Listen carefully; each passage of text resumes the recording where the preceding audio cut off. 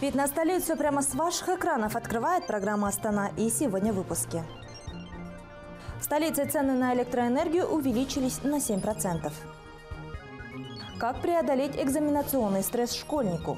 А также будут ли изменения в ЕНТ?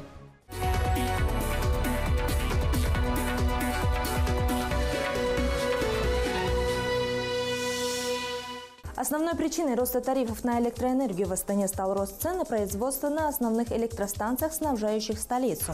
Новая предельная цена с 1 января составила 13,86 тенге без учета налога на добавленную стоимость. При этом тариф для населения составил 11,31 тенге.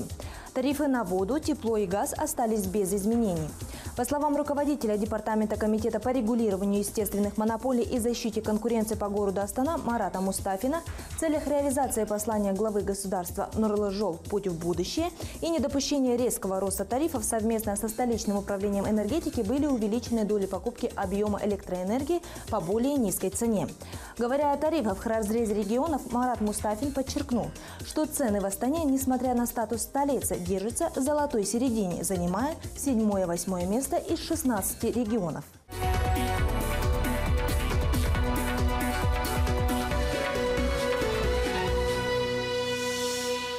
Одиннадцатый класс – самый напряженный и загруженный. Выпускников ждет итоговое испытание – ЕНТ.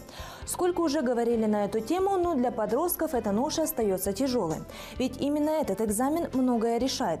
В школах с сентября начинают готовить к итоговому экзамену, который намечены только на июнь этого года. Как идет подготовка столичных школьников к ЕНТ? Подготовка к ЕНТ идет отлично. Начиная с сентября месяца мы обильно а, тренируемся, то есть пишем пробные тестирования раз в, два, в две недели. Родители говорят, не беспокоиться, то, что все будет нормально. Главная подготовка, рассчитывать только на себя, не отвлекаться на лишние по словам психолога, экзаменационный стресс занимает одно из первых мест, вызывающих психическое напряжение у школьников. И только родители должны внимательно следить за душевным состоянием ребенка и помогать преодолевать ему трудности. Мы обратились к специалисту с вопросом, как пережить стресс школьнику перед экзаменом. Согласно результатам опроса выпускников школ, при стрессе, как правило, ощущается сильное беспокойство. Человек чувствует, что не может контролировать ситуацию и справиться с проблемой. Экзамен – это серьезное испытание для большинства школьников уроков. Чтобы ребенок не сорвался перед экзаменом, режим дня должен быть четко структурированным, но не перегруженным. Нужно уделять внимание не только обучению, ведь век информации необходимо школьника разгружать. За этим должны следить родители. В этом году формат проведения единого национального тестирования не изменится. В 2015 году ожидается участие более 100 тысяч выпускников. Ведомстве напомнили, ЕНТ проводится на казахском или русском языках по пяти предметам. Количество тестовых заданий покажет каждому предмету 25.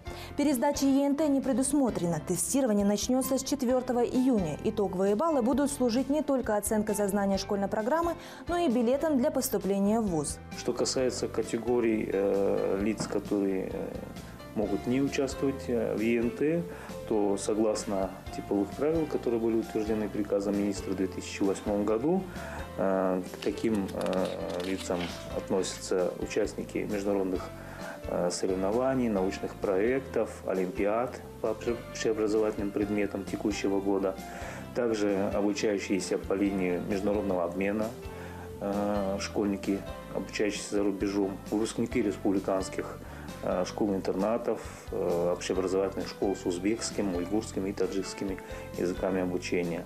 Также не пожелавшие участвовать в ЕНТ, а также обучающиеся, не принявшие участие в ЕНТ по состоянию здоровья.